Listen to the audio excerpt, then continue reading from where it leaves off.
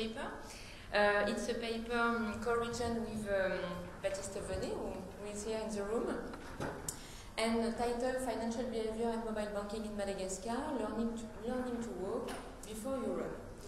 So what are our purposes in, uh, of this paper? Uh, we have two purposes, establishing and understanding the impacts of the use of mobile banking services on clients' behavior.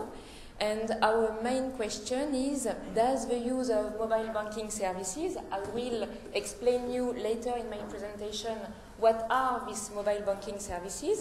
So does the use of these services have any influence upon client savings and clients' money transfers? Uh, until recently, only a limited number of studies have been dedicated to the analysis of the impact of mobile banking services on users' behavior. And these studies have mainly been conducted in Africa, in Ghana, in South Africa, in Uganda, and mostly in Kenya, uh, with papers published in 2009, 2011, 2012. This literature suggests that the use of mobile banking services may have a positive impact on individual savings, may affect money transfer behavior, and may encourage poor people's access to finance. But such analyses are relevant only if the two groups of the population are quite similar from a statistical standpoint. So, keeping this goal in mind, we undertook in Madagascar our own survey in 2012. Why Madagascar? Why is it an interesting uh, ground for our analysis? Because in Madagascar there is a strong need for financial inclusion. According to the 2012 Fine Access Survey, only 6% of the population hold bank accounts. Uh, and in Madagascar, Orange Money uh, created, uh, Orange, sorry, Orange created a mobile banking service called Orange Money in uh, September uh, 2010.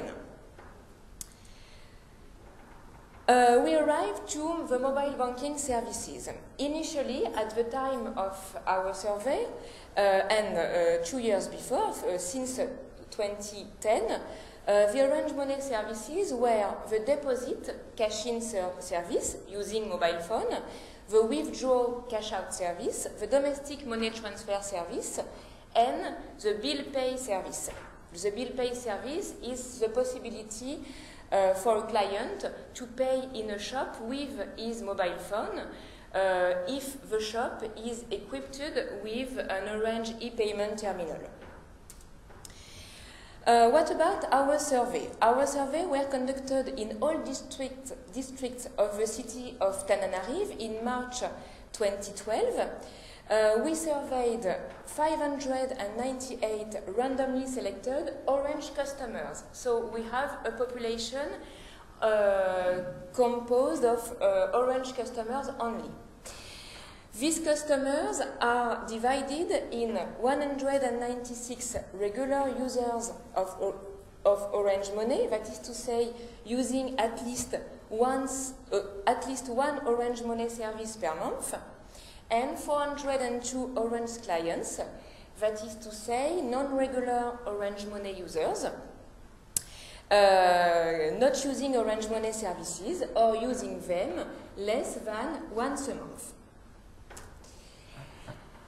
In our study, Orange Money regular users are our treatment group, and our Orange clients, um, non-users, are the control group.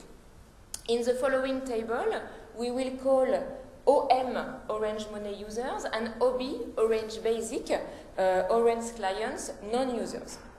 We implement the matching methodology to assess the effect of using Orange Money services on users' financial behavior. The matching methodology enables a comparison of outcomes among a set of users and non-users statistically comparable.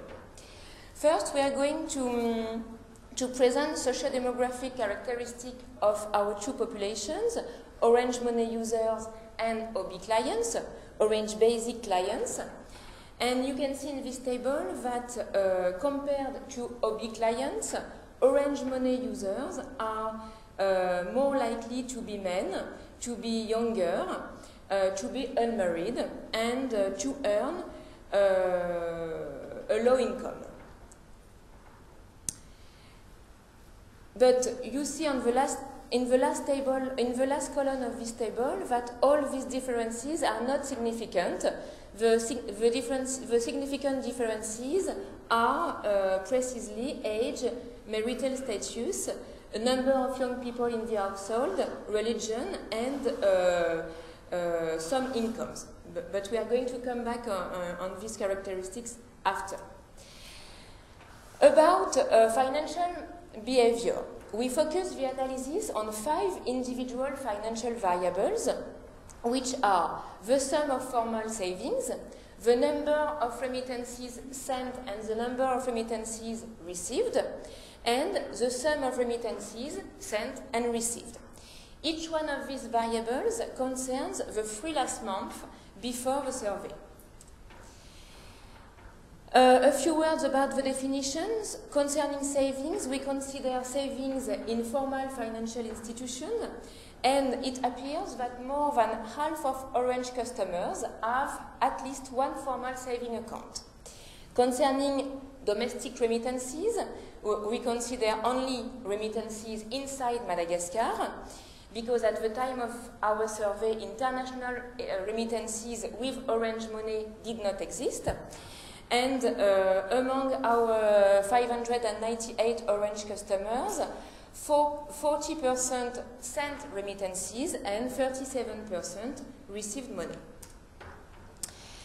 This table presents, presents the mean differences between Orange Money clients and uh, Orange Basic clients.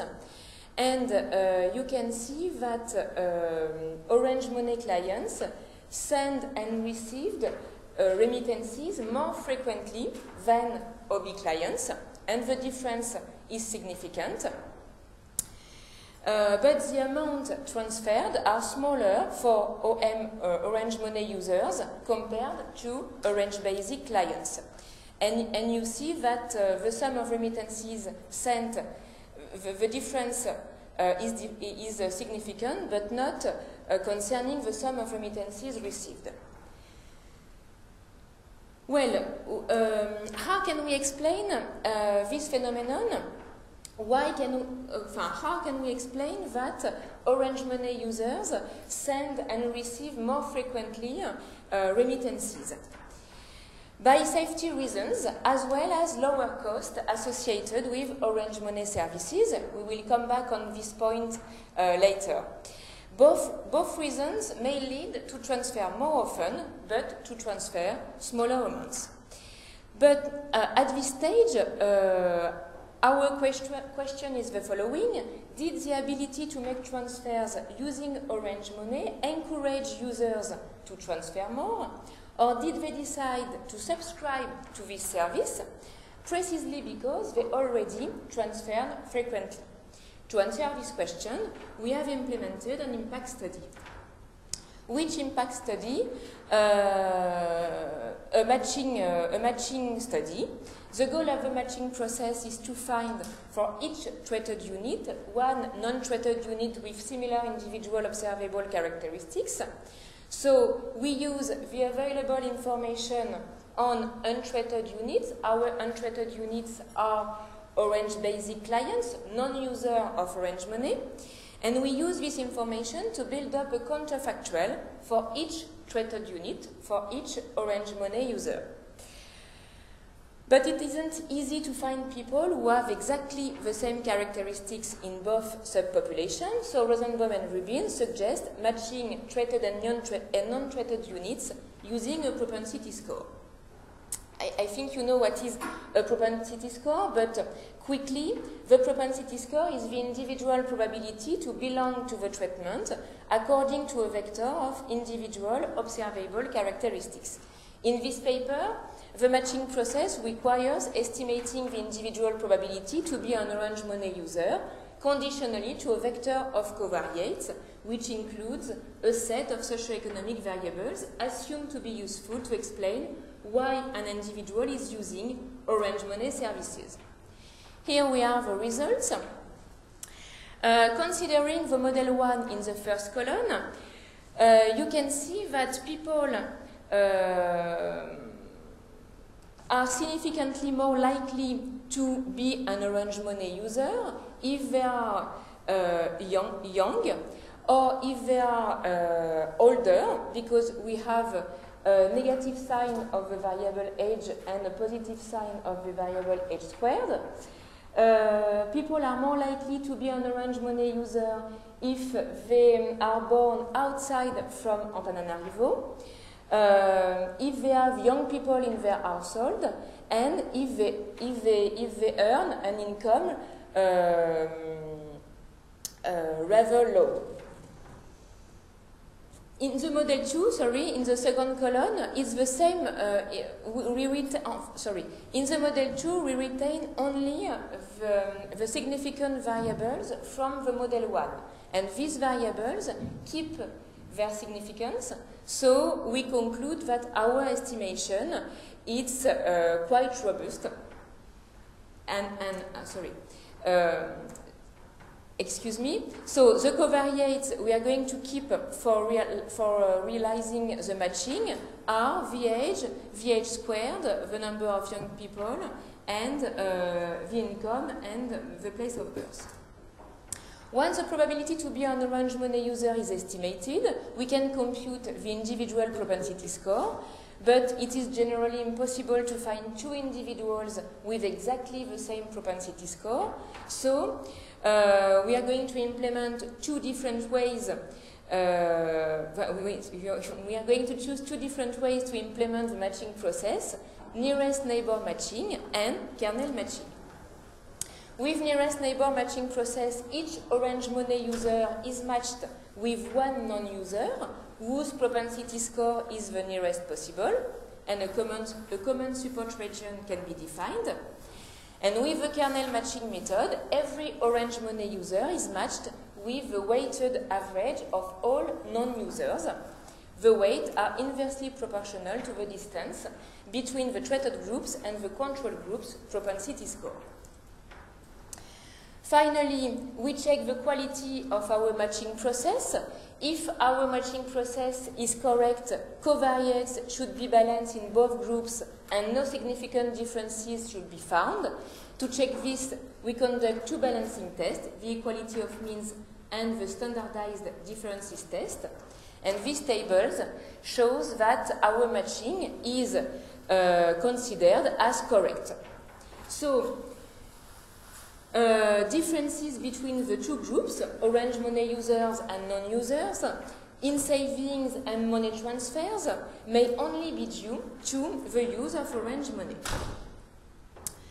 What about our main question? What are the impacts of using Orange Money? Uh, it becomes now possible to assess the average treatment effect on the treated, ATT, uh, calculating the difference between the outcomes of treated individuals and untreated ones. Then delta ATT is only the average of these differences. Here we have the results. Um, watching del delta ATT significant, you can see that um, delta ATT is only significant for the number of remittances sent and uh, the number of remittances received. And you can see that delta ATT is positive. So Orange Money users uh, send and receive more frequently than other clients Orange, non-user of Orange Money services, send and receive more frequently remittances.